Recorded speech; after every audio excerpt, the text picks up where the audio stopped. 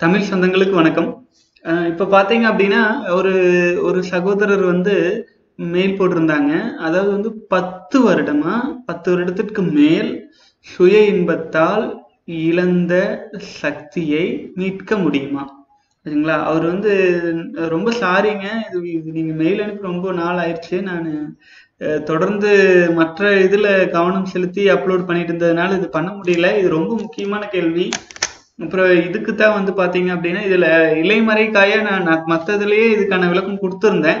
But நீங்கள் திரும்ப திரும்ப கேட்டதுனால நான் மறுபடியும் வந்து உங்களுக்கு இந்த வீடியோ அப்லோட் பண்ணுறேனுங்க இது வந்து பார்த்தீங்கன்னா இழந்த சக்தியை வந்து மீட்க முடியுமான்னு கேட்குறீங்க அதாவது இப்போ நம்மக்கிட்ட ஒரு சக்தி நம்மக்கிட்ட ஒரு பொருள் இருக்கு ஆச்சுங்களா?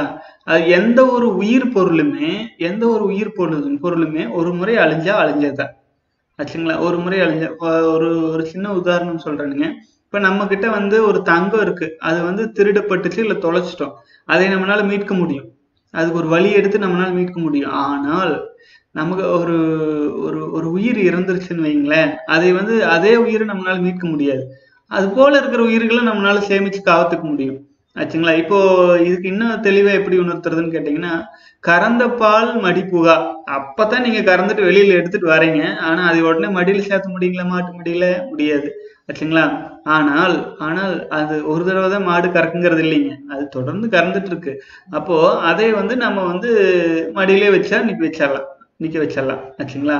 அப்போ குறிப்பிட்ட காலம் வரும்போது மாடு வந்து மடியில வச்சிருக்கிற பால் வந்து யாரும் யூஸ் பண்ணல அப்படிங்கும்போது அது தானாகவே தானாகவே தன்னோட அந்த பாலுக்கு கொடுக்குற சக்தியை தன்னுடைய உடம்புக்கு கொடுத்து கன்வர்ஷன் பண்ணிக்கும். ஆச்சுங்களா?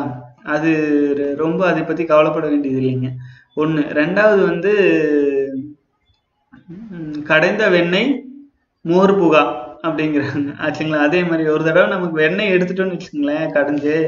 அப்போ அந்த வெண்ணெயை வந்து மறுபடியும் மோரோட ஐக்கியம் பண்ணணும்னா பண்ண முடியாதுங்க. அது தனியா தான் இருக்கும். அந்த மாதிரி இழந்த சக்தி வந்து கண்டிப்பா வந்து அந்த சூழ்நிலை தக்க மீட்க முடியாது. ஆனால் அந்தந்த காலகட்டங்கிறது கடந்து வந்தாச்சு நம்ம. இப்போ வந்து பதினெட்டு வயசு இருபது வயசுங்கும் போது வித்து சக்தி நல்ல வீரியமா பவர்ஃபுல்லா இருக்குன்னு வைங்களேன் அந்த சக்தி நம்ம பதினெட்டு இருபது வயசுல வீணடிச்சிட்டோம்னு வச்சுங்களேன் இப்ப முப்பது முப்பத்தஞ்சு வயசு நாற்பது வயசுல வந்துட்டு அந்த இழந்து போன அந்த சக்தி இப்ப மீட்க முடியுமா அப்படின்னா இப்ப மீட்க முடியாதுங்க. ஆனா இப்ப இருக்கிற சக்தியை வீணடிக்காம காத்துக்க முடியும்.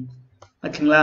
இப்போ எங்கிட்ட வந்து இப்போ இப்போ ஒரு மா ஒரு மாடு பத்து லிட்டர் பால் கறக்கும் போது விட்டாச்சு. ஒரு அஞ்சு லிட்டர் கறக்கும் போது கறக்காம விட்டுறோம் அப்படிங்கிற மாதிரி இருக்கும்போது அப்போ பதினெட்டு வயசுல வந்து உற்பத்தி ஆகிற வித்து சக்தி முப்பத்தஞ்சு நாற்பது வயசுக்கு வரும்போது நாலு நாளைக்கு நாலு முதல் ஐந்து நாள் தேவைப்படும். அந்த பதினெட்டு வயசுல உற்பத்தி ஆகிற வித்து சக்திக்கான வீரியம். கிடைக்கிறதுக்கு. ஆச்சுங்களா? நாட்கள் அதிகமாகும். ஆச்சுங்களா? அந்த சக்தி நம்ம மீட்டெடுக்கிறதுக்கான வாய்ப்பு அதுக்காகத்தான் அந்த அதாவது இழந்த சக்தியை இழந்த பக்குவத்துல மீட்க முடியாது. ஆனால் இப்ப இருக்கிற சூழ்நிலையில இப்பவாச்சும் நம்ம அதை மீட்டெடுத்துட்டோம் அப்படின்னா காப்பாத்திட்டோம் அப்படின்னா நாற்பத்தி எட்டு நாட்கள் வித்து விரயம் இல்லாமல் காத்துட்டோம்னா நம்மளால வந்து குறைஞ்சபட்சம் இந்த சக்தி நம்ம வச்சிருக்கலாம் இல்லைங்களா? இதுல இருந்து நம்ம பயணம் பண்ணலாம்ல இப்ப இன்றைய தினத்துல இருந்து நம்ம ஆச்சு நம்ம உஷார் ஆயிக்கலாம் இல்லைங்க. இப்போ வந்து மாசம் மாசம் நம்ம சம்பளம் வாங்குறோம் ஆச்சுங்களா? ஒன்றும் இல்லை. ஒரு ஜாபுக்கு போறாரு. ஜாபுக்கு போறவர் வந்து இன்னைக்கு வந்து ஒரு இந்த மாசம் ஆயிரம் டே மாசம் ஆயிரம் ரூபாய் அவருக்கு சம்பளம்னு வைங்களேன். ஆயிரம் ரூபாய் இந்த மாசம் வாங்கிட்டாரு. இப்போ அஞ்சு வருஷமா அஞ்சு அஞ்சு வருஷமா ஆயிரம் ரூபாய் வாங்கிட்டு இருக்காரு. அஞ்சு வருஷமா அவர் வாங்கிட்டு இருக்கிற ஆயிரம் ரூபாய செலவு பண்ணி செலவு பண்ணி செலவு பண்ணி செலவு பண்ணி தொலைச்சிடுறாரு. இப்போ வந்து நான் இழந்த அந்த ஆயிரம் ரூபாயை மீட்க முடியுமா அப்படின்னு கேட்டா அந்த ஆயிரம் ரூபாயை நீங்க இப்போ அதே வேலையில தானே இருக்கீங்க. வேலைக்கு போய் அந்த ஆயிரம் ரூபாய் நீங்க எடுக்கலாம். ஆனால் இழந்து விட்ட அந்த ஆயிரம் ஆயிரம் ஆயிரம் ரூபாய்களை உங்களால் மீட்க முடியாது. இழந்தது இழந்தது. ஆச்சுங்களா? மறைஞ்சிருச்சு மறைஞ்சிருச்சு. போனது போனது. ஆனால் இருக்கிறது மீட்க முடியும். இப்போ அவேர்னஸ் வந்து இப்போ தெளிவாகி நம்ம வந்து கட்டுப்பாடா? நம்ம வித்து சக்தி விரயம் இல்லாம காப்பாத்தி கொண்டுட்டு போகும்போது அந்த சக்தியை கண்டிப்பா கண்டிப்பா வந்து புதுவித சக்தியை மீட்டெடுக்க முடியும். இந்த வயசுக்கான சக்தியை. ஆனா இப்ப அதனால இப்பவாச்சும் கொஞ்சம் உஷாராயிக்குங்க மேக்சிமம் நம்ம வீடியோ பாக்குறவங்க எல்லாம் நாற்பது வயசு கீழேன்னு தான் நினைக்கிறேங்க. ஸோ அப்படி இருக்கும்போது இந்த வித்து சக்தியை மீட்டெடுக்கிறதுக்கான முயற்சியை இன்னையிலிருந்து தொடங்குங்க. இன்னும் இந்த நாற்பத்தெட்டு நாள் நம்ம முடிப்போம் வெற்றிகரமாக நாற்பத்தெட்டு நாள் முடிச்சுட்டா அதுக்கப்புறமேல் வந்து உடம்புல ஒரு உடம்புல ஆல்ரெடி வந்து ஒரு ஒரு காந்த சக்தி ஆயிரும். காந்த களம் உருவாயிரும். இப்போ இந்த காந்த களம் உருவாகும் போது மேலும் மேலும் இதை எப்படி வலிமைப்படுத்துறதுங்கிறது நம்ம அடுத்தடுத்து அடுத்தடுத்து அதுக்கப்புறமேல் தான் நம்ம வந்து அடிப்படையிலேயே வந்திருக்கிறோம். ஓகேங்களா? அதுக்கப்புறம் தான் இந்த திருமந்திரம் பிளஸ் காயக்கல்பம் பிளஸ் அந்த மாதிரிக்கெல்லாம் போறக்கான உடம்பே தகுதியானதா ஆகுங்க. அதனால நாற்பத்தெட்டு நாளுங்கிறது எல்லாத்துக்கும் அடிப்படை. இது நம்ம செய்யும்போது அந்த அந்த சக்தி வந்து விரயமாகிறது தடுக்கிறப்ப விரயமாயிட்டு இருக்கிற பழக்கத்துல இருந்து வெளியில வந்துருவோம். ஆச்சுங்களா? அது அது வெளியில வந்துட்டோம்னா அதுக்கப்புறமேல் வந்து நம்ம சக்தியை வந்து மீட்டெடுக்கிறதுல நமக்கு குறிப்பிட்ட தூர பயணமாயி நம்ம போயிடலாங்க. ஆச்சுங்களா? ஸோ அதனால வந்து ரொம்ப சந்தோஷமா இருக்குது. நீங்க இந்த கேள்வி தொடர்ந்து கேட்டுட்டு இருக்கீங்க. அதனால இதுக்கு வந்து முடியும் முடியாது அப்படின்னு உறுதியா சொல்றதுக்கு இல்லை. இன்னைக்காச்சும் இந்த டைமாச்சும் நம்ம விழிப்படைஞ்சு தொடர்ந்து காப்பாத்திட்டு போயிட்டோம் அப்படின்னா கண்டிப்பா வித்து சக்தியை மீட்டெடுத்துட்டு போன மாதிரி ஆயிருங்க. ஓகே இது இதுக்கப்புறம் வந்துங்க இன்னும் சில விஷயங்கள் சேர்த்துக்கிறேன். வித்து சக்தியை இழந்தாச்சு. இது இவ்வளவு பத்து வருஷமா இழந்தாச்சு. இப்ப இருக்கிற காலநிலையில வித்து சக்தி மீட்டெடுக்கிறதுக்கான மீட் இழந்த சக்தி இழந்ததுதான் புது சக்தியை இன்னும் நல்லா ஸ்ட்ராங்கா எப்படி மீட்டெடுக்கிறது அப்படின்னு கேட்டீங்க அப்படின்னா முடிஞ்ச வரைக்கும் முடிஞ்ச வரைக்கும் நான் சில குறிப்புகள் மட்டும் நான் சொல்றேன். அது வந்து ஒவ்வொருத்தருக்கும் மாறுபடும் ஒவ்வொருத்தரோட சூழ்நிலையும் மாறுபடும். அதை வந்து நம்மளால கண்ட்ரோல் பண்றதுக்கு வழி இல்லை இல்லைங்களா? அதனால இப்போ வந்து நீங்க எடுக்கிற உணவு ஒருவேளையாச்சும் வேக வைக்காத பச்சை காய்கறி பழங்களா இருக்கட்டும். ஆச்சுங்களா? அது அது ப்ரிஃபரபிளி அதிகாலை. ரெண்டாவது சூரிய உதயத்துக்கு முன்னாடி பச்சை தண்ணியில குளிங்க. ஆச்சுங்களா? ரெண்டு. மூணாவது வந்து அசைவ உணவு வந்து நீங்க எடுத்துக்கிற பழக்கம் இருந்துச்சுன்னா கொஞ்சம் கொஞ்சமா குறைக்கிறதுக்கான முயற்சி எடுத்தா நல்லது. ஆச்சுங்களா? இல்லைன்னா விரதங்களில் கடைபிடிக்க வேண்டிய சூழ்நிலை வரும். உடம்பு ஹீட் அதிகமாகிற சூழ்நிலை வரும்போது இப்போ ச சிலருக்கு வந்து உடல் சூடு அதிகமாகிட்டு இருக்குது அப்படின்னா உடம்பு தாங்குற சக்தி இல்லாமல் இருக்குதுன்னு அர்த்தம். வேற ஒன்றும் இல்லைங்க. இப்போ ஒன்றும் இல்லை ஒரு டூ வீலர் போகிறோம் அது நல்ல ஹீட் ஆகுதுன்னா ஏதோ ஒன்று அடைச்சிருக்கு. ஏதோ அடைச்சிருக்கு அதனால அந்த பாகம் ஹீட் ஆகுதுன்னு சொல்றோம் இல்லைங்களா? அந்த மாதிரி தான் அதாவது அந்த சக்தி வந்து ப்ராப்பரா ஃப்ளோ ஆக மாட்டேங்குது. அது அதுக்கு வந்து ஆனா ஃப்ளோ ஆகும். ஆகும். எப்போன்னு கேட்டீங்கன்னா அது உடம்பு வலிமையா இருக்கும்போது அதெல்லாம் அடிச்சு தள்ளிட்டு போயிடும் அதுக்கு உடம்பு வலிமை பண்றதுக்கு இந்த பேசிக் விஷயங்களை வந்து நம்ம ஃபாலோ பண்ணணுங்க. இதெல்லாம் அடிப்படை பழக்கமாவே மாறிடணும். காலையில எந்திரிச்சோடனே போய் மூஞ்சி கழுவுறதுக்கு பதிலாக உடம்பு பூரா தண்ணி ஊற்றிங்க தலையிலேருந்து கால் வரைக்கும் ஊற்றிட்டு அப்புறம் குளிர் வச்சுட்டு உடம்பு குளிர் வச்சுட்டு அதே துணியை கூட போட்டுக்குங்க. ஆச்சுங்களா? ஒண்ணு. ரெண்டாவது காலையில வந்து வேக வைக்காத உணவுகள் சாப்பிடுங்க. மூணாவது பித்து சக்தியை கடைபிடிக்கிறதுல ஏதாச்சும் தடை வருதுன்னு தெரிஞ்சிச்சு அப்படின்னா இம்மிடியட்டா அடுத்த வேலை உணவை வந்து விட்டுருங்க.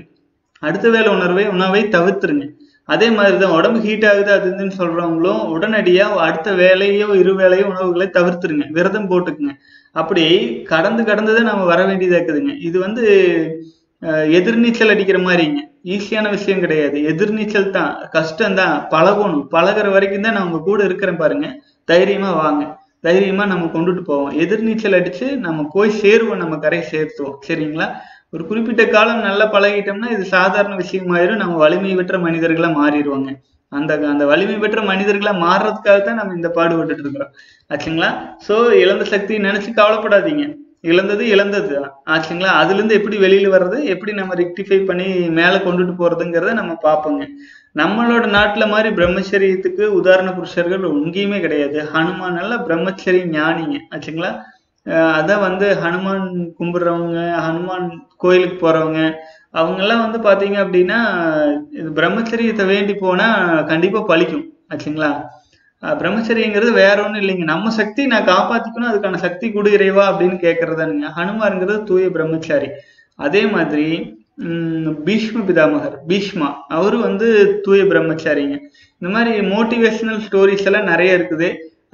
பீஷ்ம பிதாமகர் பத்தி நான் ஏற்கனவே நான் உங்களுக்கு ஒரு வீடியோ போட்டிருக்கிறேன். தயவு செஞ்சு பாருங்க. அப்புறமேல் வந்து ஹனுமார் பத்தி ஹனுமார் பாருங்க வித்து சக்தி காத்து வச்சிருந்ததுனால அவர் சஞ்சீவி மலையவே தூக்கிட்டு போறாருன்னு சொல்லுவாங்க. ஆச்சுங்களா? அபரிமிதமான சக்தி இருக்குதுங்க. ஆச்சுங்களா? அதனால வந்து இது வந்து ஒன்று ரெண்டுன்னா டக்குன்னு சொல்லிடலாங்க. இது வந்து நம்ம உயிர் வாழ்க்கைக்கு தேவையான அர்த்தமே அதுலதான் பொதிஞ்சிருக்குதுங்கும் போது இது வந்து ஒரு எசன்ஸ் எசென்டியல் எசென்டியல் அடிப்படை. ஆச்சுங்களா? இந்த எஜுகேஷன் தான் ஒவ்வொரு ஆண் குழந்தைகளுக்கும் கண்டிப்பா கொடுக்க வேண்டியது பெண் குழந்தைகளுக்கு இதை புரிய வைக்க வேண்டியது பெற்றோர்களுடைய க- பள்ளி கா- காலேஜுகளுடைய கடமை. ஆச்சுங்களா? இதெல்லாம் அவங்க பண்ண மாட்டேங்கிறாங்க ஏன்னு கேட்டீங்கன்னா இது மூலமா பல ஒரு சிலரோட பலன் அடைகிறதுக்காக ஒட்டுமொத்த உலகத்தையே சீரழிக்கிறாங்க. உண்மையை சொல்லாம. ஆச்சுங்களா? இப்ப உண்மை வெளியில வந்துருச்சு. நான் சொல்லிட்டேன். நான் சொன்னது இல்லைங்க. சித்தர்கள் பூரா இதே தான் படிச்சு படிச்சு சொல்லிட்டு இருக்கிறாங்க. எந்த சித்தர் புக் எடுத்து படிச்சீங்கனாலும் இது வித்து சக்தியை பேஸ் பண்ணாத எந்த விஷயமே இருக்காதுங்க. ஆச்சுங்களா? அதெல்லாம் நம்ம தொடர்ந்து பயணிப்போங்க. அது பயணிக்கிறதுக்கு முன்னாடி நமக்கு அதுக்கான தகுதி கொண்டு வரணும் இல்லைங்களா? அதாவது வியூவர்ஸ் ஆன உங்களுக்கும் நானும் சேர்ந்து எல்லாரும் நாற்பத்தெட்டு நாள் தாண்டி போயிட்டு இதையெல்லாம் பகிர்ந்துக்குவோம். ஓகேங்களா? அதை பத்தி ஆழ்ந்து போ ஆழ்ந்து போறதுக்கான சக்தி அப்பதான் கிடைக்குங்க. ஆச்சுங்களா? சரி இன்னைக்கு வந்து முழுமையாக அதுக்கு நீங்கள் கேட்ட கேள்விக்கு திருப்தியாக பதில் சொல்லிட்டுனா என்னன்னு எனக்கு தெரியல. ஆனால் வந்து பார்த்தீங்க அப்படின்னா தொடர்ந்து பயணிக்கலாம். அதுக்கு இழந்த சக்தியே இழந்தது தான் ஆனால் நம்ம மீட்டெடுப்போம். ஆனால் அது புது சக்தியாக இருக்கும். ஆச்சுங்களா? இழந்த சக்தியாக இருக்காது. அது இழந்தது இழந்தது தான் அதனால இப்போ வச்சு இழக்காம எடுத்துட்டு போறதுக்கு வழி ஏதோ அதை நம்ம பார்க்கலாங்க. வாழ்க வளமுடன் வாழ்க வளமுடன் வாழ்க வளமுடன்.